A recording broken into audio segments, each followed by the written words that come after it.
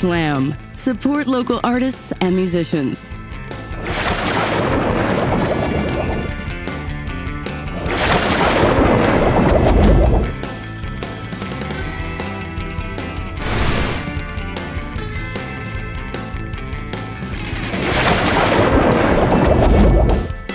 Hi, guys. This is Bryant with Slam, and I'm here with Alex from Bunkhouse. Today, we're going to talk brewing, we're going to talk following your passion, and we're going to talk art. So, Alex, let's start with how would you, why do you get into brewing? Why do you brew beer?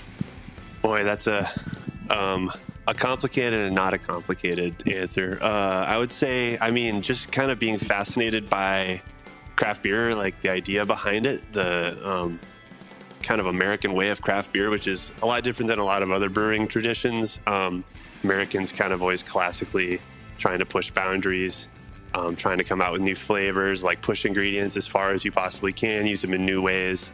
Uh, and I just kind of like saw a really interesting community forming around it that I really liked. Um, it seemed like a good, like I've never met anybody that I didn't like in the brewing industry. Everybody seems cool. Um, it's very community oriented. Like all these little tap rooms everywhere and stuff are always kind of big centers for, um, you know, local causes such as slam and and uh, various kind of creative pursuits and just like getting people together and sharing ideas and brainstorming. And I just wanted to be a part of it. Um, I've always been very uh, kind of creative person. Like I um, really enjoy the creative process of brewing and and using um, you know lots of different skills and stuff like that. You get some technical, some some creative stuff kind of going on, and just kind of seemed like a cool job. Yeah. So, I imagine you always liked beer. Uh, yeah, since I came out the womb, I think. Yeah. And at what point, at what age did you decide I love beer and now I want this to be more than something I just drink, but actually something I'm contributing and making? Yeah, that's um, well. I mean, I definitely didn't start homebrewing before I was legally of age. That definitely didn't happen. Good note. Um, and uh, I mean, I really kind of considered taking the real leap into professional brewing when I was about 23. Um, I'm 31 now, so like eight years ago. Uh, just out of college, I was working an office job. Um, and didn't really find that office environments fit well for kind of my uh, the way I like to work, and just decided to jump both feet in and try to get into the industry, and it's been awesome.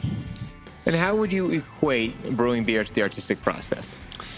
Yeah, I mean it's it's really like I think one of the big things that ties it into art is like the sky is the limit. You know, I mean there's there's no boundaries to what you can try to do. Um, there's hundreds of ingredients that we use. There's hundreds of processes, all sorts of things like, and just putting that all together into something that comes together, um, very much like a painting or a song or like the process is really similar. I'm a musician myself, and uh, I find that the creative process for like coming up with a new song or like learning a new tone or whatever.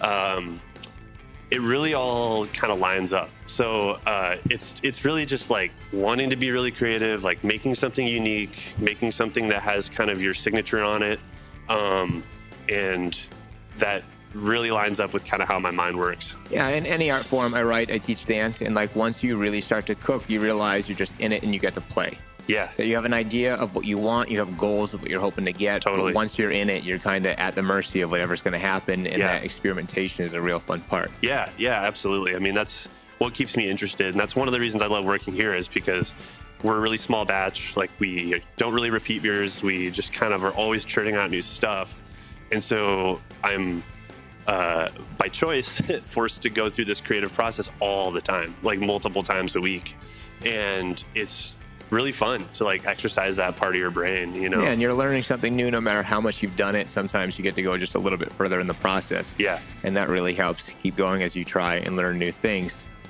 Um, why do you guys support the arts here? Does it echo out from your passion of brewing beer? Yeah, I mean, it's all definitely tied together. I think that a lot of it stems from just like a sense of wanting to build community too. Um, the brewing community and the art community are very much interlaced in a lot of situations. Um, I think it's just like a similar mindset.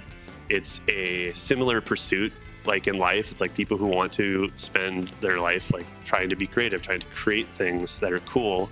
That people like to enjoy or look at or just take in. Um, and we kind of see ourselves as a place where all that can kind of collide, you know. So like our creative process can support the creative process of others. Um, we have just a space for allowing that to exist, um, and we love to use that to build community with both kind of uh, lanes, if you will. Uh, and it's just always kind of been a part of our identity here is to support local artists and and keep art on the walls and keep people talking about it and, and highlight the creative processes of artists and musicians and brewers and all of it. You're all following your passion. Taking Yeah, a chance and that collective energy of risk takers really adds something when you put all the ingredients together. Yeah.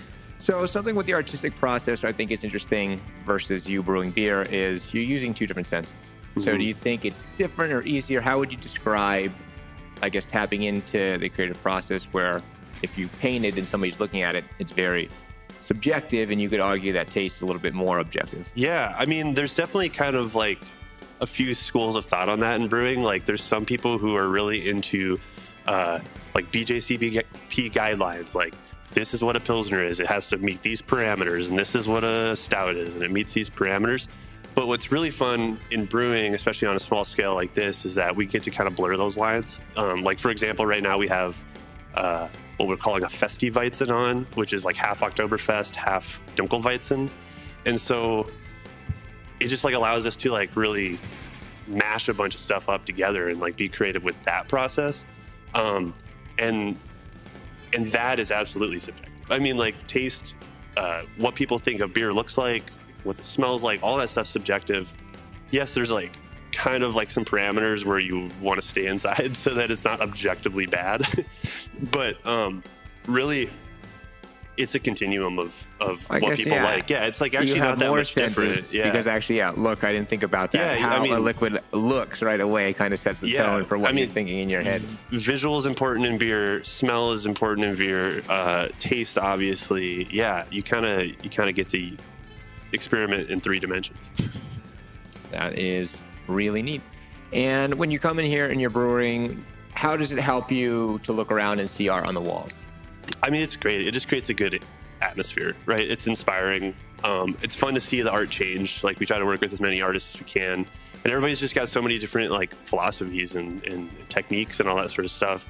And it just makes me kind of like think about how I can push myself to try something new or like try a technique I've never done before or an ingredient or whatever. Um, I mean, other than just like it makes the tap room look awesome. Yeah, it's funny because it's like you physically change something. It's a physical reminder that Yeah. you can change things. Uh, one last question, kind of talking again about the artistic process. I feel that we have so many creative artists, musicians, brewers because we're so close to nature. Yeah. Can you talk just for a minute on nature's effect on you in the creative process and what that means living in Montana? Yeah, How that affects you creatively. Absolutely. I mean, it's totally an inspiring place to live. To like look out these windows and see snowy mountaintops and and and drive out into the country and see some rivers and beautiful landscape and stuff. Like that's totally just inspiring, and it kind of oozes into everything we do. Um, brewing has always been extremely tied to place in nature because the ingredients come from the earth, right? And uh, the different, like you grow barley in one field, it might taste different than barley in another field, and and uh, even going so far as to use like forage stuff for flavoring beer, like spruce tips, like we use beets in beer. We used a hollowed out tree trunk to make a beer one time. Um, it's it's always going to be tied to the place you're in. Um, brewing is highly, less so now, but like it always used to be highly regionalized, highly localized. Like what ingredients can we get here? Like what ingredients um, do we have to go find? And luckily, we have really good access to really cool natural stuff here. We have good malt farms around, um, but also just like if you want to brew a spruce tip beer, I mean, we're just surrounded by kind of stuff. So yeah, I mean, like some of the senses and experiences and and things like that that I pick up, like say hiking or paddling or whatever, mountain biking. It's like that is always going to creep into how I form a new beer or how we do that here. That is awesome. So let's just end with any last thing you want to plug, any special beer influenced by any of that ingredients you yeah, talked about? Um, right now, I mean, yeah, we're kind of influenced by the seasons at this moment because we have a wet hopped IPA on, um, brewed with fresh hops that we went and got um, unfortunately not local enough, but um, out in the Yakima Valley, uh, harvested, put in our brew kettle less than 12 hours after we picked them up. So that part was really cool. Um, we're also, I mean, the kind of the big news around here right now is uh, is that we are building a new brewery. So um, we're moving out to Four Corners, and we're going to expand and kind of increase our our capacity, increase our um, pursuit of quality, uh, and just provide like kind of a nicer space for everybody to hang out in. Uh, bigger, I shouldn't say nicer, different. Um, Yeah, more room for art on the walls. yeah, more room for art on the walls. Yeah, there's a lot of walls. I'm putting up a lot of dry walls, so there's a lot of room.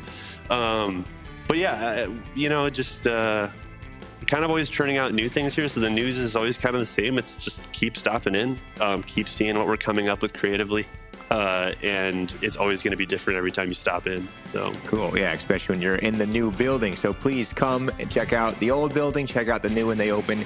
Keep supporting Bunkhouse. Alex, thank you so much.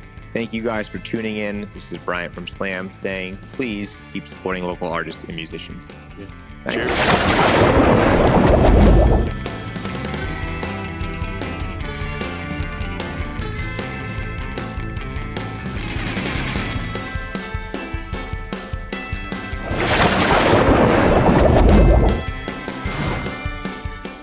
Slam. Support local artists and musicians.